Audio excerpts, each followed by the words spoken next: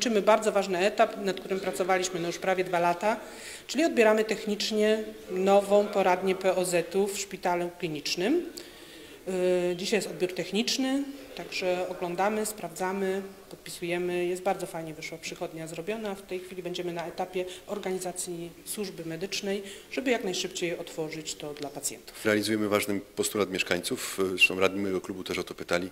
E, Otwieramy nową przychodnię, jeszcze troszeczkę trzeba na to poczekać, myślę, że gdzieś do okolic wakacji, ale rzeczywiście na Malince, gdzie jest e, wiele młodych małżeństw, mnóstwo dzieci, e, taki punkt przyjęć po prostu był potrzebny. Dzięki sprawności naszej nowej spółki medycznej, w zaangażowaniu i w współpracy szeregu osób e, taki punkt szybko powstaje. Jest też wysokiej jakości, bo jak widać tu na terenie e, szpitala Nawitosa w- jest miejsce, w którym myślę się będzie czuć się dobrze, bezpiecznie i uzyska się e, te wsparcie lekarskie, jakie, jakie będzie potrzebne. Szczególnie cieszy mnie ta e, przychodnia dla dzieci, którą oglądałem.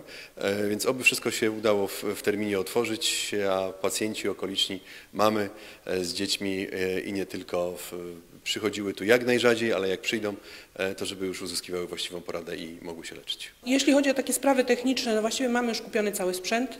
W tej chwili zostały nam takie kwestie dekoracyjne, żeby poradnię dziecięcą przygotować taką bardziej przyjazną dla, dla dzieci.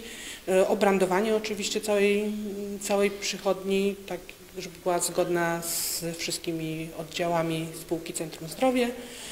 No i poszukiwanie lekarzy. No To będą lekarze dla osób dorosłych, dla dzieci, pielęgniarki, rejestratorki, więc myślę, że takie zatrudnienie na początek chcielibyśmy około 10 osób tutaj zatrudnić e, do obsługi e, tych naszych pacjentów. Na tą przychodnię miasto wydało około 2 milionów złotych, to jest 1,5 miliona sam remont i przygotowanie tej infrastruktury tutaj, żeby to odpowiadało współczesnym standardom, no i około pół miliona wyposażenie tej przychodni w sprzęt, w meble, sprzęt medyczny i we wszystko, co jest niezbędne.